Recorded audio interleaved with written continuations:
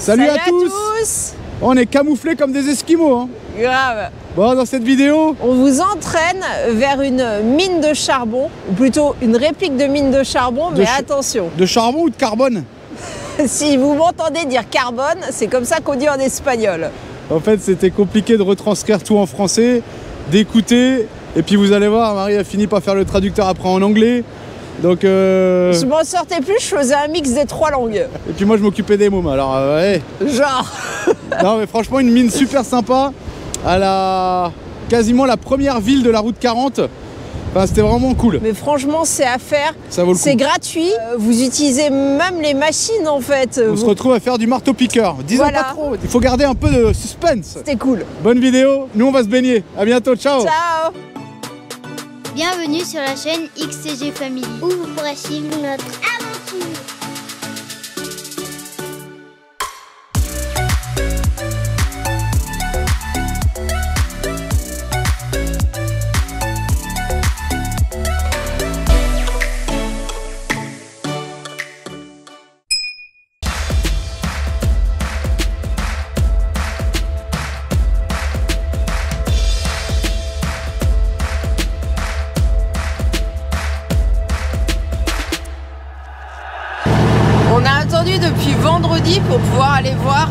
Mine de charbon.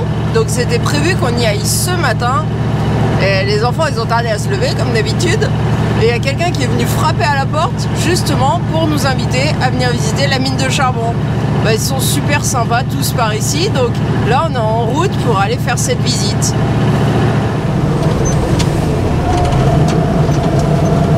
Alors, a priori, si on dit pas de bêtises, l'entrée, c'est ici.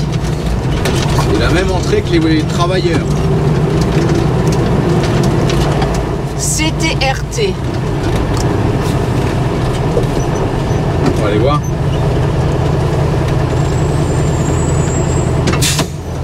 Bon, c'était pas là. On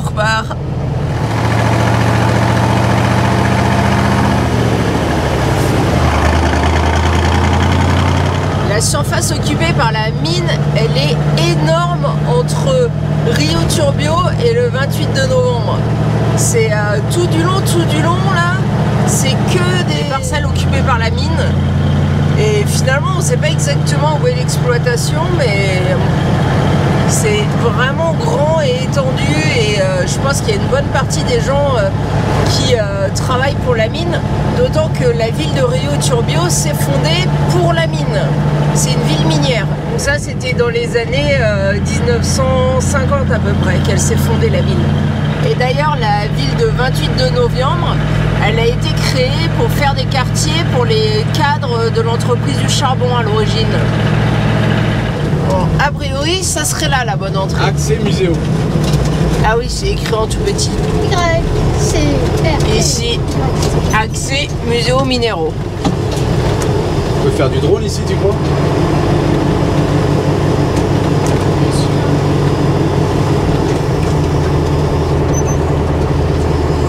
Ils sont pas mignons. C'est gardé par les militaires. Voilà Viens avec le musée. C'est Ouais, faut montrer le passeport. Et ça y est, on peut passer. Alors, on doit être accompagné. Il y a la voiture grise qui nous guide parce que euh, sinon, à ce qui paraît, on va se perdre? Donc, euh, bah, on suit la voiture grise.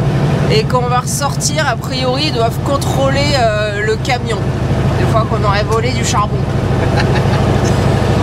C'est quoi Il me faudrait un bout de bavette? Alors le musée, euh, il est ouvert euh, le matin, je crois, à partir de 8h et seulement jusqu'à 1h de l'après-midi. Et là, il doit être déjà 11h15. On a vraiment traîné, personne ne se levait. Donc j'espère que euh, va pas avoir une visite écourtée parce que euh, il n'y a plus le temps quoi. Ça serait dommage parce que ça a l'air bien. Oh, le vieux cater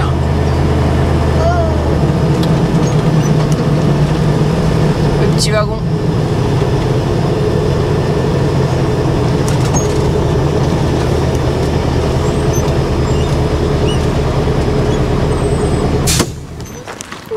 Alors on va pénétrer dans une partie de mine qui est reconstituée. Hein. C'est pas la vraie mine, mais normalement on verra euh, les techniques utilisées avant et maintenant.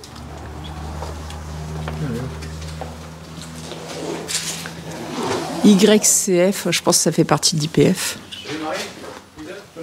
Si tu laisses ouverte la porte de ventilation, tu laisses la possibilité d'une explosion.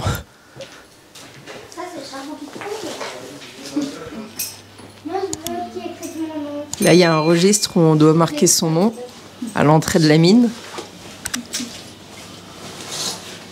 Alors là, ils sont en train de nous équiper comme de vrais mineurs. Ah On est équipé, hein Avec les lampes et tout. Batterie externe. Alicia, pareil. Il se disait que no se podía ir a la mina, la Mujeres No, únicamente el 4 de diciembre. Mari, afuera. Precaria, todo con sostenimiento de, de madera, todo eh, madera de la zona que era la lenga, que está en la lenga, que después la lenga se reemplaza por el eucalipto. Porque la lenga era una madera más firme, eh, la lenga era una madera que por el centro le entraba la humedad y se quebraban los travesaños y se generaban los accidentes. Y el eucalipto era una madera más firme que no le entraba la humedad y eh, mantenía más tiempo firme las galerías. En aquellos tiempos todo el carbón se extraía con pala y picota y la gente empujaba los carros como el que tenemos en aquel carro. Y en el año 50, 1950, comienza a mecanizarse la mina, llegando los primeros martillos neumáticos, que este peso, este martillo pesa 12 kilos. 12 kilos. Et c'était. À moi, ça pèse lourd. hein. Y con el que trabajamos hoy pesa 6 kilos. ¿Así? Todo neumático. Sigue siendo neumático y pesa 6 kilos. Maintenant, ça pèse 6 kilos les nouveaux euh, engins euh, pneumatiques pour casser euh, le charbon minéral. La bandera de los mineros, que está la bandera de los mineros donde simboliza bueno, el trabajo del minero dentro de la mina, con su luz, su única luz, la pala, la picota, el transporte de Río Turbio hacia Río Gallego, trasladando el carbón, y de Gallego hacia afuera en barco, en buques.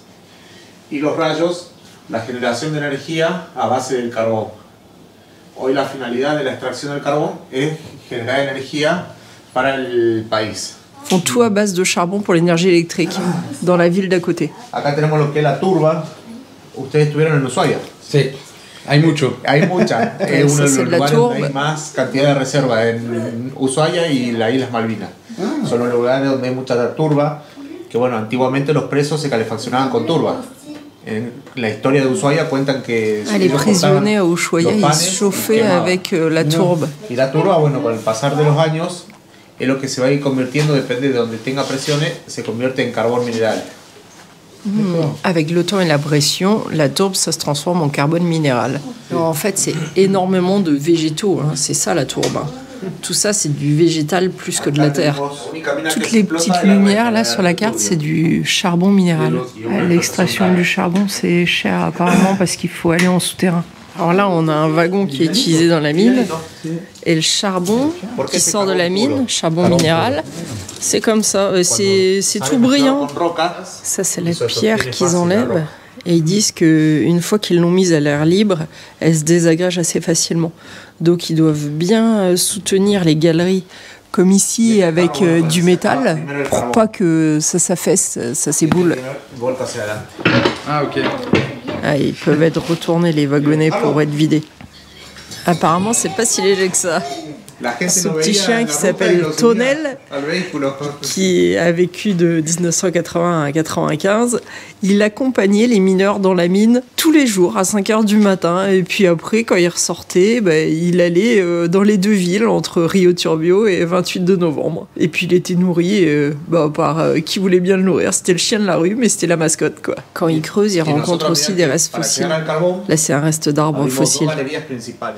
Son dos galerías de 7 kilómetros, de, todas hechas en roca, de una sección de este tipo que nos permite ingresar en colectivos y, y todos los materiales en camiones.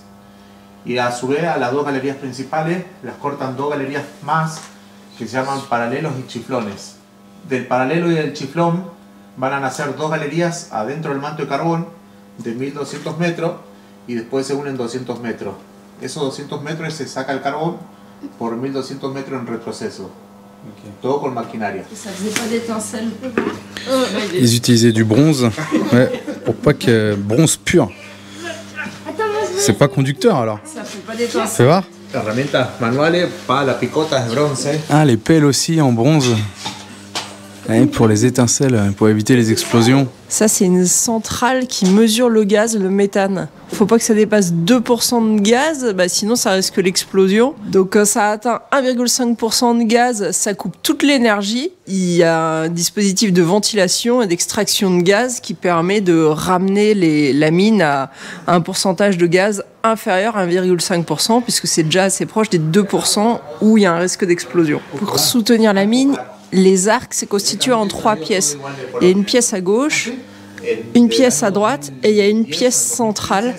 Et quand la mine, quand ils ont fini d'exploiter une galerie, ils récupèrent euh, les pièces et ils les remettent plus loin quand la galerie avance. Du coup, derrière, hein, les galeries s'effondrent une fois qu'ils ont enlevé ça, mais c'est des zones où ils travaillent plus. Se se cargaba Ça, c'était utilisé avant pour euh, exploiter le charbon, pour, pour perforer. Apparemment, au bout de la pointe, il y a un 19 kilos. truc vachement dur. Alors, je saurais pas vous traduire en français.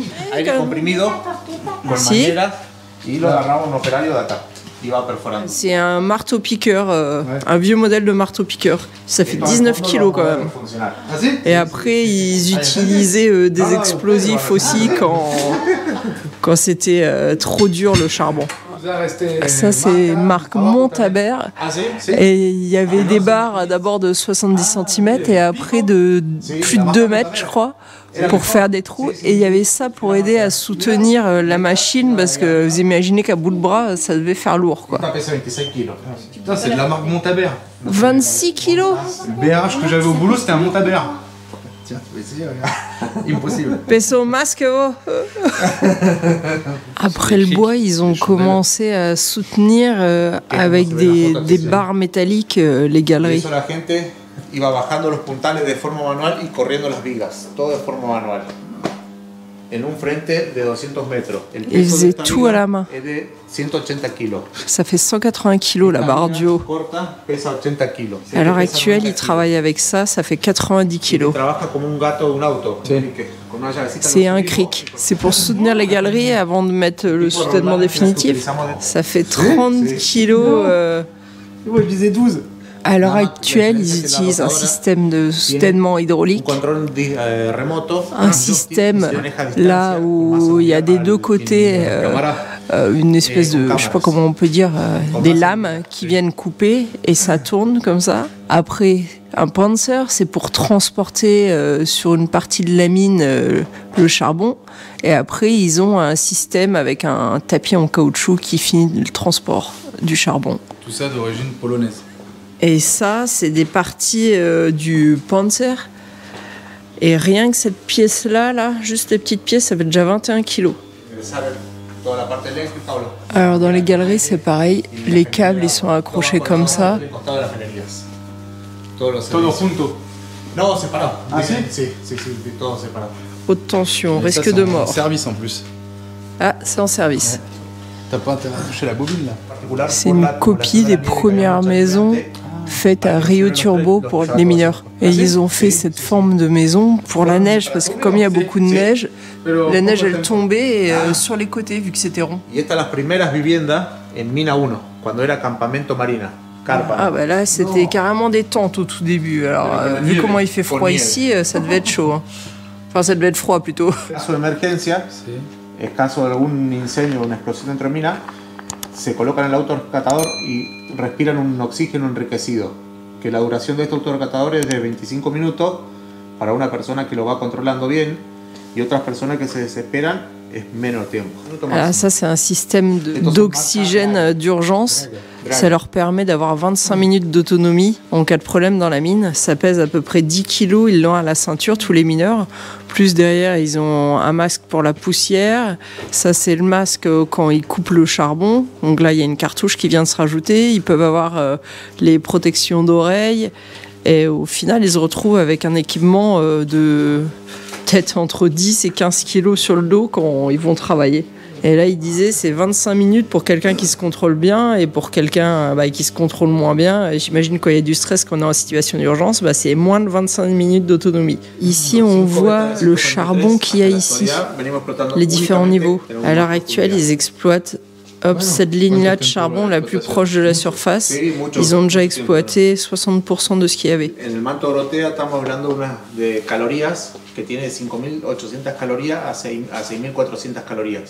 En el manto Dorotea estamos hablando una- de calorías que tiene 5.800 calorías a 6 a 6.400 calorías, kilocalorías de la potencia que tiene el carbón nuestro. Ese es 60 metros.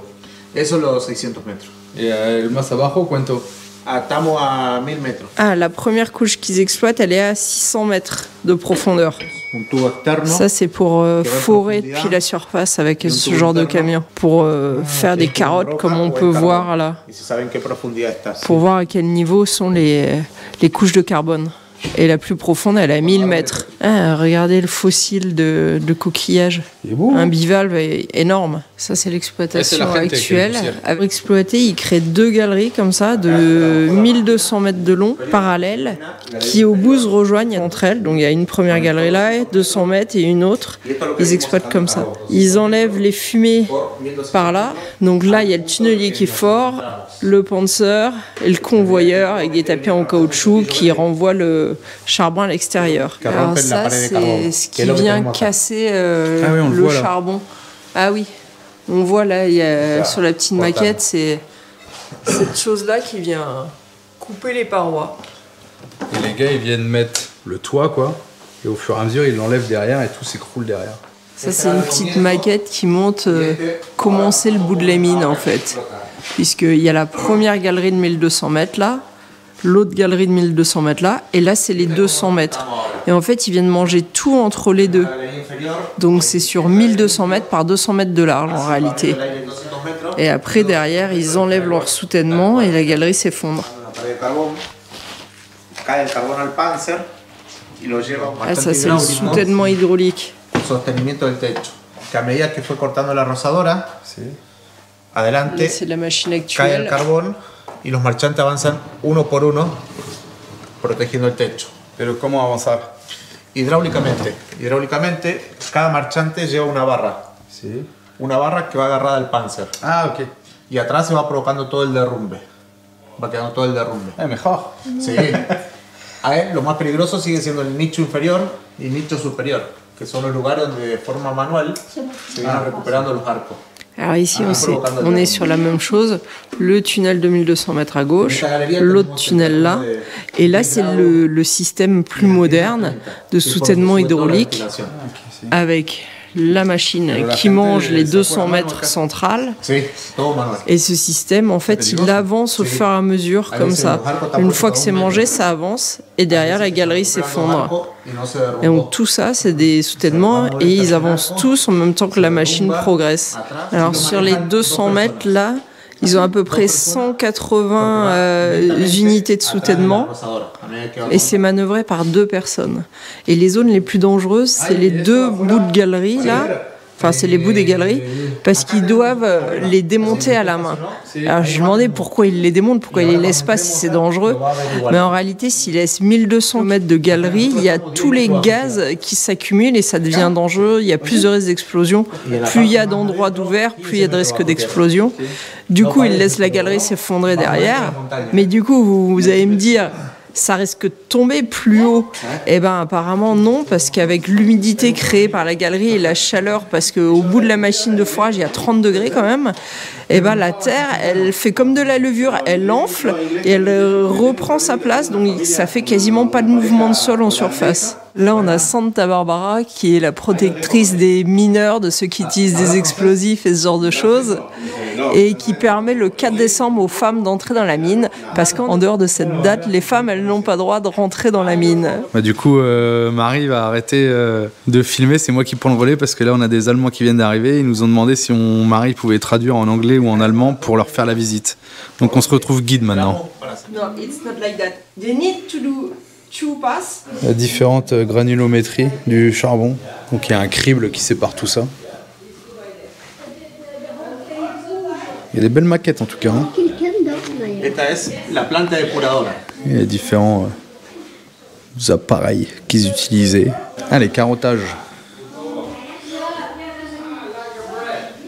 Marie, elle est au taquet, ça y est, elle est partie en traducteur. Là. Ah, les maquettes, elles sont vraiment impressionnantes. Ah bah là, il leur a mis un truc interactif. Les différents minéraux qu'ils trouvent.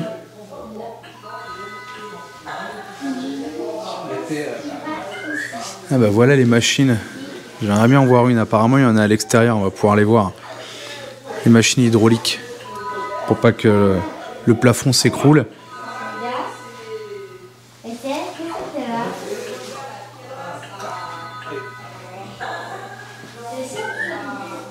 Tu l'as touché S Euh, non, S carbone. S. Non, en anglais. Ah non. It's um, magnetic. Yeah, why? And the carbon on the piedras, Yeah. because there is a mixed, Yeah, go there to Rio Turbo, yeah. and there they, there is a swimming pool. No, Ah, not they for will wash. swimming. They will wash. They, uh, they put water Yeah, and carbon piedras Yeah. and magnetic. So they do a, a mix in the swimming pool. yeah. La petite maquette là, c'est la centrale électrique où on s'est arrêté. On croyait que c'était là le musée. Là. Donc euh, c'est là où il y a la production d'électricité et la distribution ensuite. Ils sont toujours au jeu là. Ils sont bien les jeux de chez YCRT. Que c'est ici Là-haut euh, Alicia. Tu lis rapide le- l'espagnol toi dis donc Un trabajador solitario o un grupo de gente con ganas de cavar. C'est quoi d'obtenir l'énergie électrique et le carbone. Ah, Alors là on va rentrer dans la partie un peu plus réelle de la mine. Oh là là, t'as vu là ça s'allume là Il faut allumer là. Je sais pas c'est lequel le plus fort. Celui-là. Celui-là est plus large.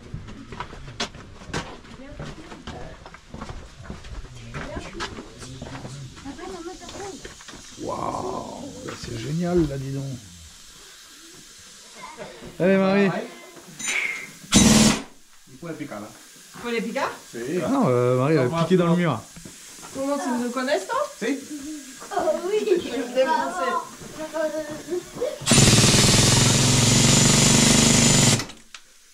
Oh là là. Ah j'ai fait mon petit bout.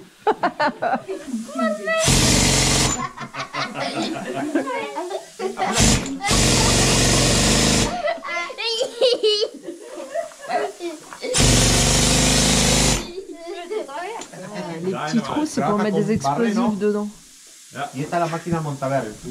Ah, ils utilisent cette machine pour faire des trous un peu plus profonds et après ils les remplissent d'explosifs. Tout ça, c'est pneumatique. Ah ok, c'est un vérin pneumatique.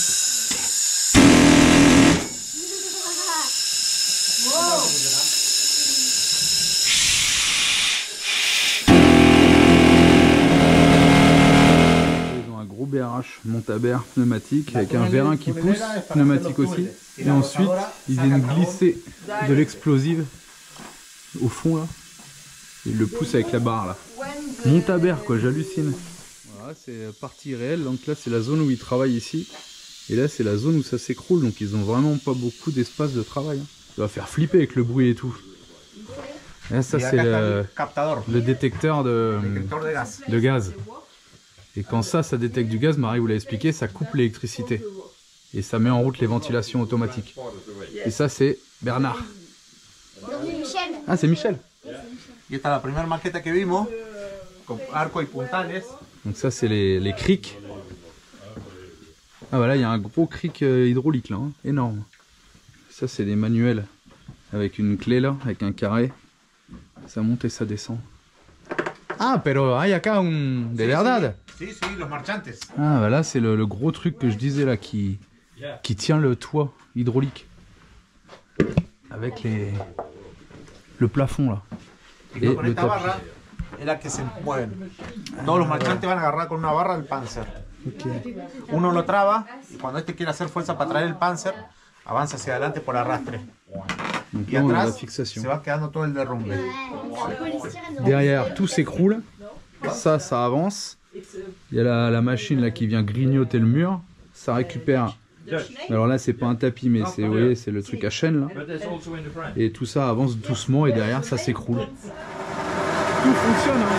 c'est impressionnant. Parce que bah, c'est encore tout ça en activité. hein. Et là, il va nous mettre le tapis en route. Voilà. Là, ça vient grignoter. Tout tombe là-dedans. Et donc, elle, là, c'est une machine électrique. Et donc, elle utilise l'énergie que la mine produit en même temps, quoi. C'est impressionnant. C'est une belle visite. Hein. Ah, et là, c'est là où vient l'air euh, propre en fait. C'est la deuxième galerie. Tout ce que ça vient casser de là-bas, ça vient ici sur ce, ce tapis-là. Ça vient tomber sur celui-là, qui est en chaîne aussi. Et après, ça part sur des convoyeurs, euh, des tapis caoutchouc. Je pense qu'ici, ils utilisent ce système-là euh, parce que doit y avoir de la, de la grosse pierre et tout tombe d'un seul coup. Je pense qu'ils utilisent ce système-là à chaîne ici pour que ça bloque moins. Parce que sur les concasseurs, c'est pareil. Enfin, sur certains, la première partie où on vient charger avec le godet, elle est entraînée par chaîne. Eh, puestos. De paper. They need two uh, people. Yeah, and then if you have 200 meters, 42 cubes, that is every 5 meters you have a person. Yeah, Jesus. Ouais, ça y est, on est arrivé sur la fin. Bah franchement, eh ben, on recommande cette visite. C'est vraiment, euh, vraiment sympa. Alors c'est un peu perturbé que Marie euh, fasse la traduction, mais, euh, mais voilà, ça a rendu service euh, à tout le monde. Hey, à la pointeuse, hein. les gars, faut qu'ils pointent. Hein. Anatole Kovalnov. Qu'est-ce que c'est? C'est pour pointer, pour dire à quelle heure t'es rentré, à quelle heure tu sors. Le mouchard. Donc là, il a dit aux enfants, vous pouvez ramener un, prendre un morceau de charbon, un gros, un petit, ce que vous voulez, en souvenir. Tu me fais un collier. Ah ouais? Et donc c'est euh, mine nationale, hein.